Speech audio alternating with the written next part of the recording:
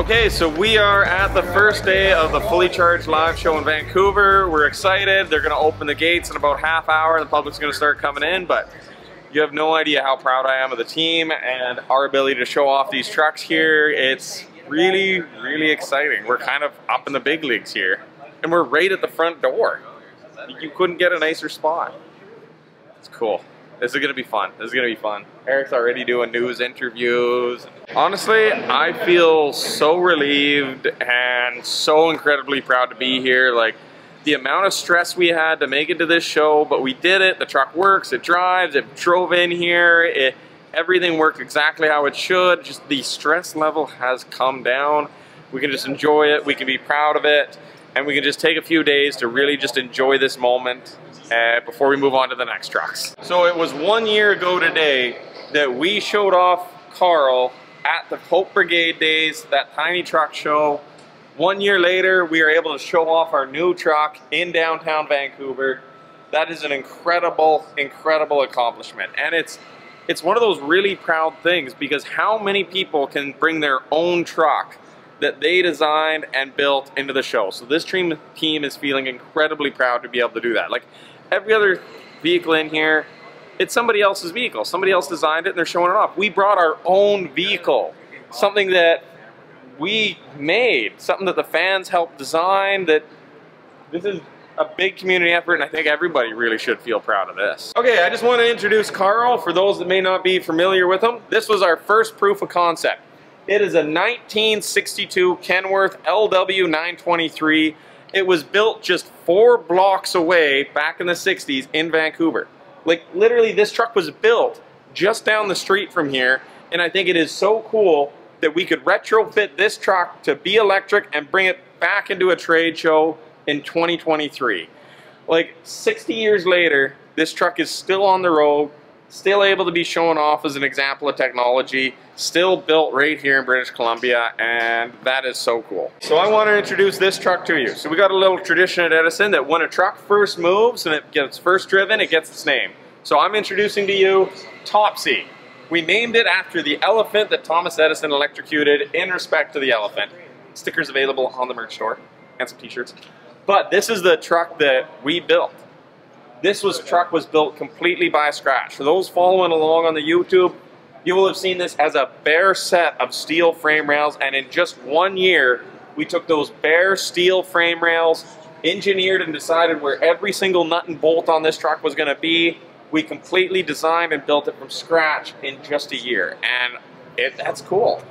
This is cool. This is the first truck designed and built in BC since Western Stars closed down in the 90s. Well guys, we made it to fully charged. It's just absolutely incredible. Gates open in about a half an hour, so this is this place is going to get pretty busy in the next little bit here. So uh, just just so amazed we made it here in one piece. Uh, we're so excited, and uh, yeah, I just can't wait to see everybody's faces and you know all those eyes pop open as they see the truck for the first time. So we're already big hit. Like yeah. everyone that comes in just gravitates towards it. You stick out like a sore thumb. Totally. I mean, it's literally the first thing you see when you walk in the door. So I'm just so pleased. Yeah. Let's see that door here. That's the door. Yeah. This is the door. You walk in and you into our truck. right behind you. It's just right in your face, you know? Alan here's brought us some uh, banners, like an official like trick company show. Oh. Nice. And Alan is one of our original and largest investors. Yeah, yeah. That looks awesome. When you're downtown, you gotta look downtown. I feel like we're a professional truck company. This is sweet. We're gonna be we're gonna be uh, coming to talk to you. Um, I'm not sure when. Grace knows everything. Edison, when do we see them? Uh, we're gonna interview them tomorrow. Tomorrow. tomorrow. Yeah, yeah. So there you go. By tomorrow, um, I'll be. Uh, what time? Uh, I think we're stopping by at three o'clock. Oh, three o'clock. Good. I won't be into the sauce then, so I'll, I'll be able to ask you tough questions. Well, it'll be interesting to see what you actually think of a truck that was built by a bunch of loggers. You know what? I do not want to talk to you. Do you know why? Because it'll ruin the tomorrow. Yeah. I'll, yeah. No, I get that hundred percent. Yeah. Then I you can give me surprises. Geez, you're just gonna put me on the spot like that. You just want me to be like, the truck looks good? Sure. It looks sick? Okay, the truck looks good. It looks sick. There's so many things that just make sense about it. It's so rare that you get into something and there's actually reason behind why the stuff has been done instead of it just being like, oh, there's stuff. I, I don't know. We're, we're, we, I was not adequately prepped for this. We paid him to say this. No money has exchanged hands. Actually, I got a hat. oh, good, good. We hooked you up with a hat, eh? Why don't you get in there, Chase, and say, Yeah, it, it's just super cool. I really like how you can just change the engine to whatever it needs to be, and you still just have an electric car at the end. Okay, I'm here with Sonia. She is the leader of the BC Green Party, and she is by far one of my most respected politicians. Now, I don't always agree politically with the Green Party, but I once actually did a TikTok where she was talking about a natural gas pipeline and not liking it, and I said, well, I'm in favor of shutting down the coal plants in China and replacing with natural gas, but I contradicted her. She phoned me and talked on the phone with me for over an hour as we debated and talked, and like the, one of the most reasonable people to listen. I learned a lot of things from her, and since then, I've gained a lot of respect, and I'm so happy to be able to show her this truck today. The respect is mutual. I so appreciate Chase, the way that you communicate, the way that you show solutions, the way that you demonstrate that we can actually get out of these crises by applying common sense solutions. The truck is such a perfect example. It was great to have a tour of it, and uh, it's it's the innovation and ingenuity that says let's do better and create the conditions to keep doing better after that, as opposed to we have to be perfect in every way. I so admire the, the work that you do both with Edison and in your communication on TikTok.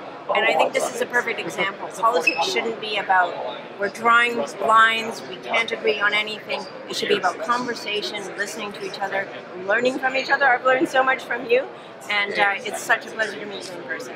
Thanks, thanks again so Thanks, much Chase. for coming to see this truck. Glenn Gary with the Victoria Electric Vehicle Association. The truck here, talking to Chase, he's got he's totally on board with the right idea. Make things last, make things repairable, make things that reduce the amount of pollution that's going to be in the air. It's all perfect. We even if it's diesel today, five years down the road, pop the diesel out, put more batteries in. If, if all that shakes out, no, that's brilliant. And and the truck, you know, 'cause everything here is that'll go forever. Just keep swapping parts in and out as tech gets better. Swap the batteries. Yeah, yeah. Instead of doing an engine rebuild, because the generator and run forever, Yeah. just do a battery rebuild. Pop the batteries out, put the new batteries in. You're off and running again. This truck will last 20 years. It's brilliant. Thanks, Thanks, James. thanks, thanks for taking a look. I'm Brian from My Tesla Weekend. I do daily videos on all kinds of things, including Tesla. Yeah, that's a big surprise. First impressions, I guess I'd say it's big, it's ugly, and it, that's what's needed to get the job done. So when it gets closer to production, the stats will be the stats. Is it going to work for everyone?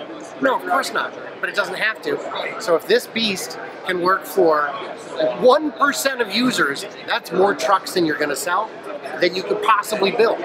So this is a, a cool step in the right direction, and I'm very excited to see how it works out in the end. I'm John. I came from Indiana. Oh, it definitely exceeded expectations. I've, I've been seeing it online, but it's just so much better in person. And the amount of attention that it's receiving is awesome. Like, there's a lot more people looking at Topsy and Carl than any of Mack or Volvo, Peterbilt, and for good reason.